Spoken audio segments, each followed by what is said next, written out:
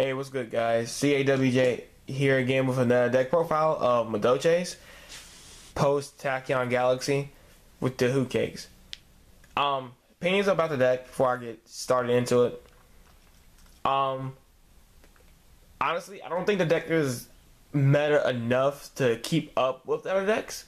But um, with the Hootcakes being a extremely, really, really, really powerful card in Madolche's and make it extremely like just OTK potential, can come back from a lot of things, just really amazing. So that is can stand up to the meta, but not as strongly to where it can you know constantly win over over over again to come first place in the tournament. But besides that, we're going to the deck. First off, everybody should know triple magic Basically, nothing changed about this card. Summon it, search out, set up plays. Nothing more to be said about her. The card of the deck, Hootcake. Who Cake is basically just the broken card of the deck. I'm gonna go ahead and say it's broken just because it's just too good, too good in the deck.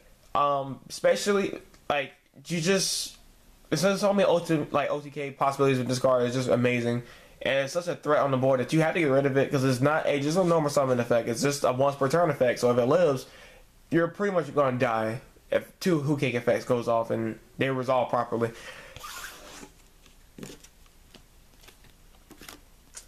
Three Mewfeuilles basically sets up an extra engine for the Hootcake to you know pursue it to make it more of a threat.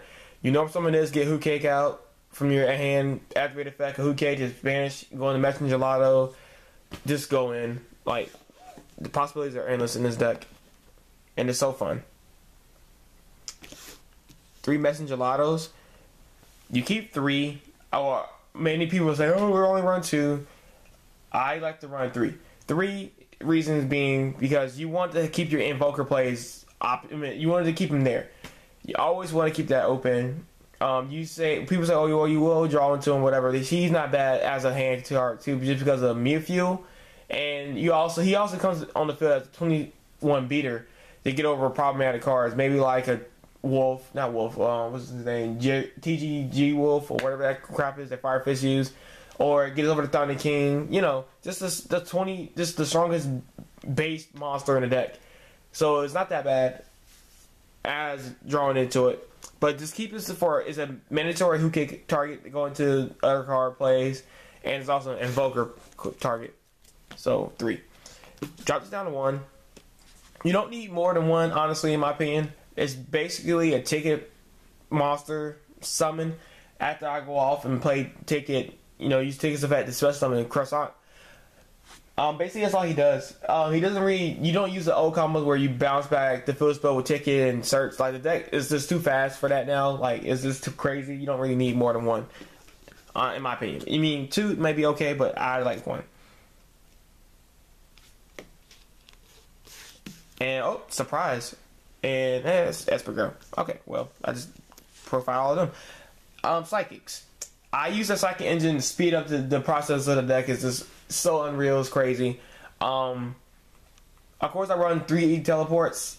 It combos with the Mewfeuille into Hootcake and E teleport, and just going from there. It's just crazy. Um, the players are endless. It just helps the level three. Level three. It's like this deck is like the new windups, in my opinion. This this this this flood the field, and their effects are just so broken. It's just so good. Like it's just hard, really hard to respond to them. But the psychic, if I draw into her, I can set her as a giant rat or something. Sometimes they like dark roll up for no reason, or maybe they just tack into it.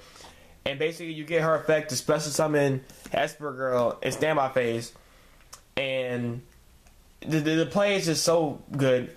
It's a plus one for it, and the fact that Cake activates when you have monsters in the graveyard, this gives you a, a one in the graveyard. And then Esper Girl, when she ever leaves the field, it gives you another one. So that's two already there.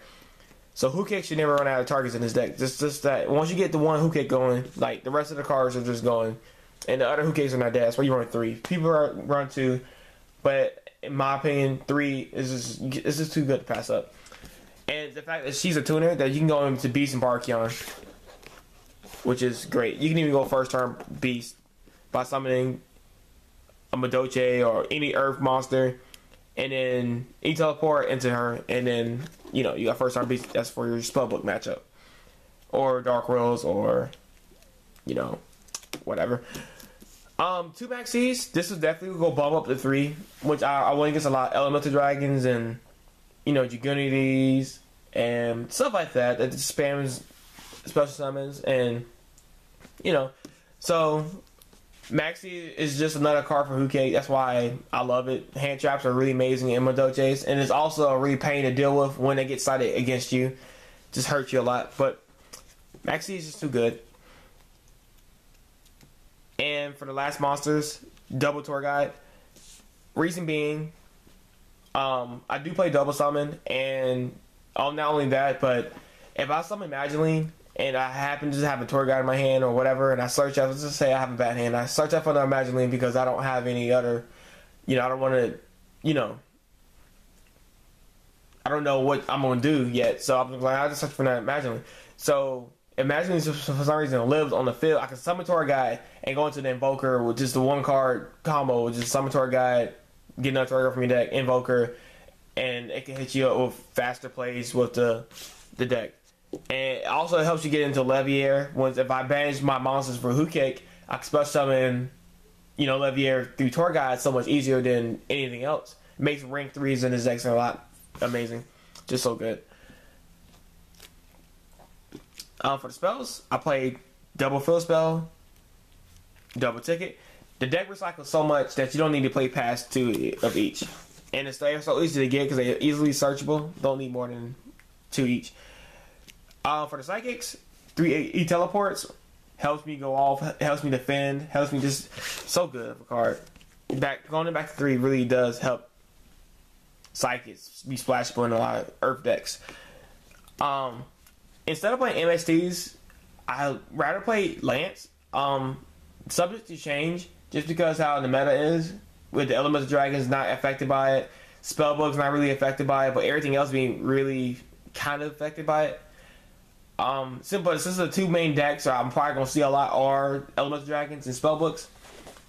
Um, yeah, this might not see a lot of play, but the fact that MST is also a really bad card against those cards, I mean, those kind of decks too. Just, I don't know.